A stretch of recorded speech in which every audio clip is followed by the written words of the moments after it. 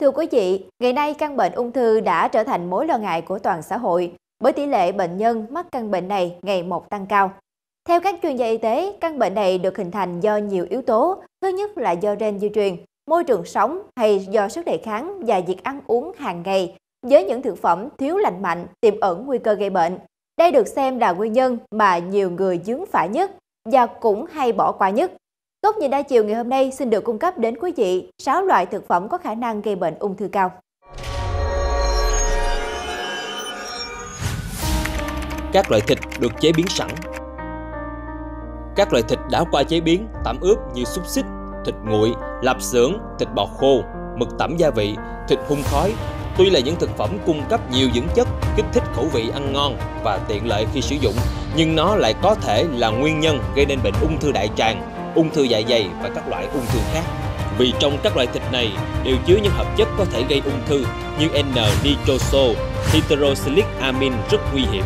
Do đó, bạn cần hạn chế ăn các loại thực phẩm này để làm giảm nguy cơ gây bệnh ung thư cho chính bản thân mình và các thành viên trong gia đình.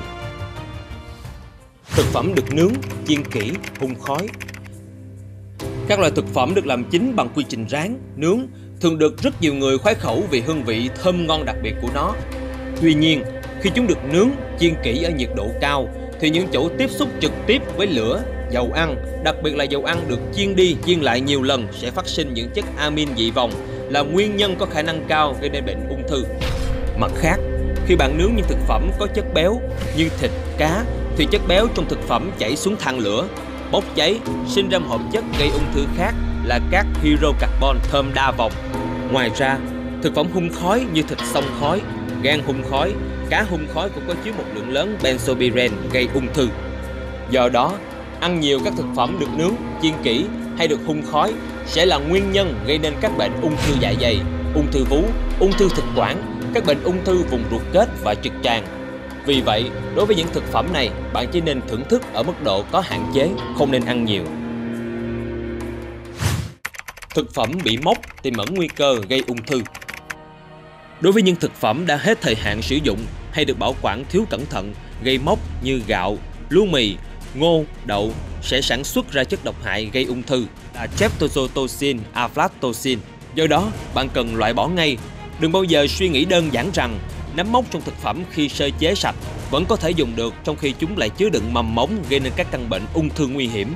Do đó, trong quá trình bảo quản thực phẩm, đặc biệt là thực phẩm khô, cần bảo quản đúng quy cách, hạn chế ẩm thấp để thực phẩm không bị nấm mốc quý vị nhé. Nước đun đi đun lại nhiều lần rất nguy hiểm. Theo nhiều nghiên cứu khoa học, nước đun sôi sau 2 tiếng đồng hồ là đã bị vi khuẩn xâm nhập nên khi đun nước xong, chúng ta cần sử dụng ngay và tránh tình trạng đun đi đun lại nhiều lần. Bởi hoạt động này vô tình đã làm tăng hàm lượng nitrit trong nước.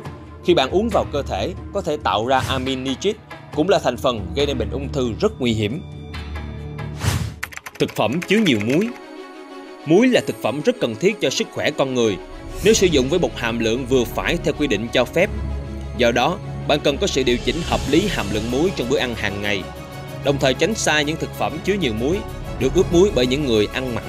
Bởi ăn nhiều thực phẩm chứa muối ẩn chứa nguy cơ ung thư rất cao. Trái cây, rau xanh tạm ướp hóa chất Ngày nay, vì nhu cầu lợi nhuận mà các loại trái cây, rau xanh được tạm ướp hóa chất với nồng độ cao để lưu giữ sự tươi ngon của nó. Chính vì vậy, trong quá trình chọn mua và sử dụng, các bạn cần tránh những loại trái cây, rau xanh này. Đặc biệt là khi chúng có xuất xứ không rõ nguồn gốc nhiều loại trái cây do tạm ướp hóa chất có thể bảo quản từ 6 đến 8 tháng vẫn tươi ngon lạ kỳ.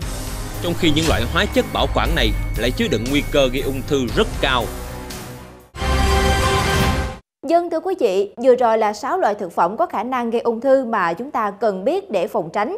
Nhưng có lẽ nhiều người xem sẽ thật bất ngờ vì chúng là những món ăn mà mình thường sử dụng hàng ngày mà không biết được tiềm ẩn trong vẻ ngoài tươi ngon là những nguy hại khó lường. Ăn uống là hoạt động cơ bản đóng vai trò quan trọng trong cuộc sống của con người.